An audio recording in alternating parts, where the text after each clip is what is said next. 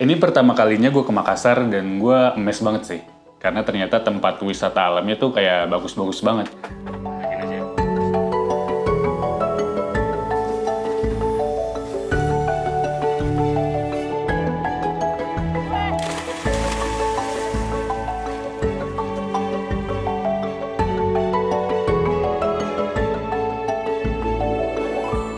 Jadi di hari pertama gue ke Makassar, itu gue langsung ngunjungin ke satu wisata namanya Ramang-Ramang. Jadi kalau dari kota ke Ramang-Ramang tuh nggak terlalu jauh sih, kayak cuma sekitar satu jaman lah.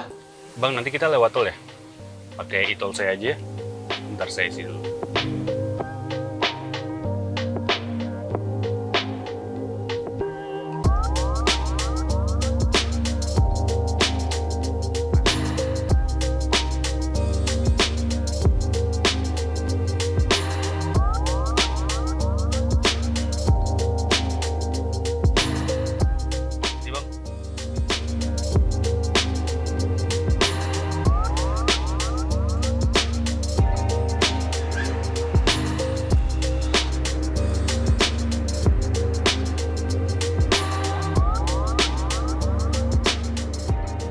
Terus sesampainya di Ramang-Ramang, kayak gue langsung menuju ke dermaganya. Karena kebetulan buat explore kawasan Ramang-Ramang ini kayak lo emang harus naik perahu gitu.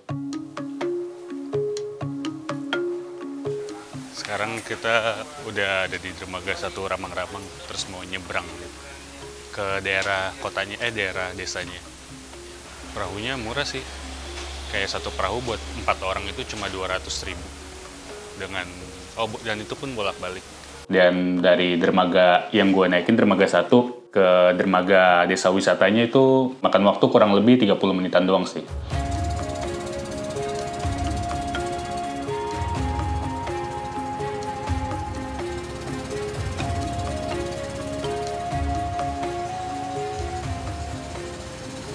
Sekarang kita udah hampir masuk ke kawasan desanya. Biasanya tuh rata-rata orang ngabisin waktu di desanya hampir kurang lebih dua jam gitu. Jadi nggak usah buru-buru sih, karena emang bakal ditungguin sama abang perahunya. Jadi take your time and enjoy the view. Dan honestly kayak nggak berasa gitu selama di perjalanan perahunya. Karena selama di perahu tuh kayak lo bakal dikelilingin sama pemandangan tebing-tebing yang cantik gitu. Dan sama jajaran pohon-pohon nipah. Jadi kayak it's something new to see aja sih. Jadi ramang-ramang ini uh, diisi oleh beberapa banyak pegunungan kapur gitu, atau biasa disebut kars.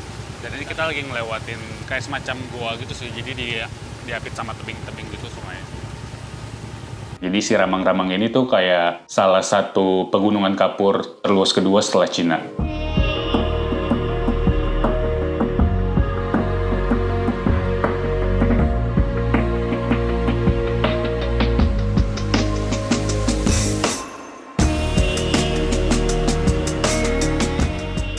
Jadi kalau nggak salah emang di kawasan Ramang-Ramang ini tuh kayak ada banyak eh, gua atau spot-spot lain yang bisa dikunjungin. Tapi emang medannya mostly agak agak susah gitu sih. Jadi gue mutusin buat ke satu gua ini namanya Gua Berlian. Nah ini kita udah masuk di kawasan gua berlian. Jadi harus bayar dulu di pintu masuknya, terus nanti dipandu sama orang sini. Jadi yang menariknya nih kayak gua ini tuh kayak punya dua kayak semacam dua lantai lah. Jadi di bagian bawahnya kayak lo bisa ngelihat eh, stalaktit atau stalagmit Jadi ini tuh batu terbentuk gajah duduk. Oh, Jadi ini telinganya kiri kanan, terus ini belalainya. Kalau ini bentuk dinosaurus, jadi ini mukanya, matanya kiri kanan, Hmm. mulutnya, ini tubuhnya. oh. Terus bahkan ada juga yang bentuknya tuh kayak ibu-ibu lagi gendong anak gitu. Kalau yang di atas sini yang tergantung untuk menggendong bayi, tapi dia harus difoto dulu, berbalik dan diputar oh. Coba aku foto ya. Dari mana dari sini? Dan kalau lo mau lihat bentuk ini kayak lo harus foto dulu si stalaktitnya, terus kayak lo puter gitu HP lo. Jadi stalaktit kayak lagi ibu menggendong bayi. Setelah difoto harus dibalik. Buat ngeliat berliannya itu lo harus menuju ke bagian atas guanya. Dan menurut gua challenging banget sih buat ke sananya. karena lo harus ngelewatin kayak celah yang sempit banget dan cuma kayak mod- bermodalkan tali doang gitu loh. Kayak gini aja.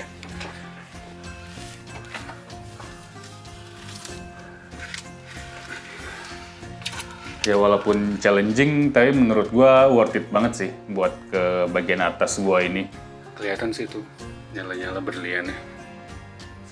Ini nih nyala-nyala tuh. Jadi ini tuh berlian asli karena ini sudah pernah diteliti oleh beberapa peneliti wisata. Hmm, Yang ini juga, cuman karena bahasa jadi dia tidak terlalu terlalu kelihatan.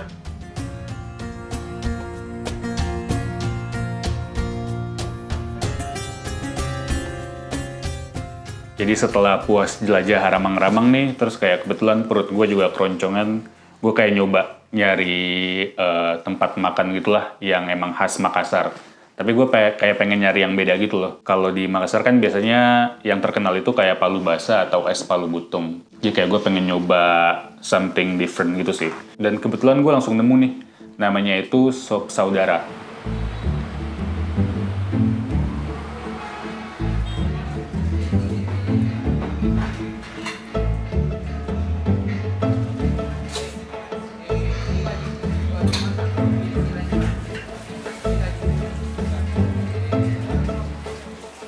Fun fact, sop saudara ini tuh sop yang legendaris. Dia udah sekarang udah ke generasi ketiganya. Jadi kayak turun temurun gitu dari 1982.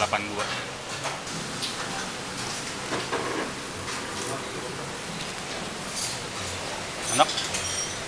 Jadi kayak kuahnya tuh berasa banget ah, bumbu-bumbunya. Dan daging sapinya juga empuk.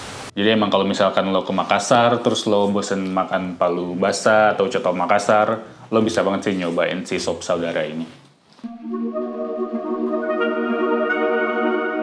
Nah hari berikutnya, karena kebetulan hotel gua tuh kayak deket sama dermaga penyeberangan gitu, kayak gua langsung mutusin lah buat nyoba snorkeling di satu pulau, namanya Pulau Samalona.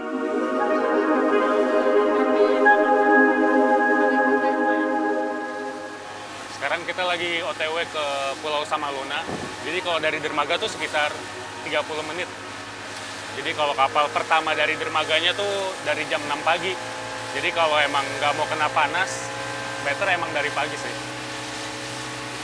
Terus kebetulan sekarang juga ombaknya jadi nggak belum terlalu besar. Jadi masih nyaman buat nyebrangnya.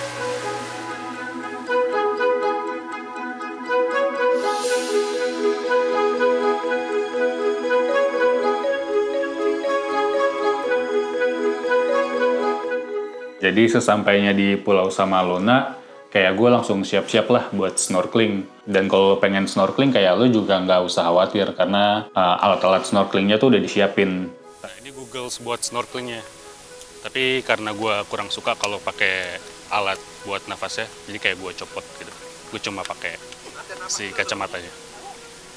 Tapi yang harus lo inget tuh kayak perahunya tuh beda gitu loh. Perahu lo snorkeling sama perahu lo pas berangkat ke Pulau Samalona.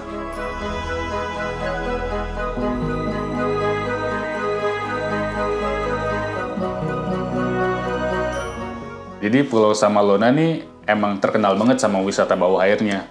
Dan pas gua snorkeling di dua spot ini kayak emang gak salah banget sih sebutan itu. Pas gua snorkeling kayak banyak banget biota laut yang bisa gue lihat kayak mulai dari clownfish, terus ada juga ubur-ubur kecil, kayak bahkan di bawah eh, karangnya tuh kayak banyak bintang laut warna biru gitu. Bahkan kalau dari atas perahunya aja tuh kayak karang-karangnya sama biota lautnya ini udah kelihatan gitu loh. Karena emang jernih banget airnya.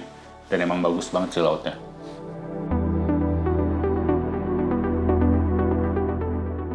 Jadi setelah kunjungan gue ke Makassar ini kayak gue emang berniat pengen balik lagi sih. Karena menurut gue selain Ramang-Ramang sama Pulau Samalona kayak masih banyak lagi keindahan alam di Makassar yang belum sempat gue jelajahin gitu loh. Jadi nextnya gue pasti balik lagi.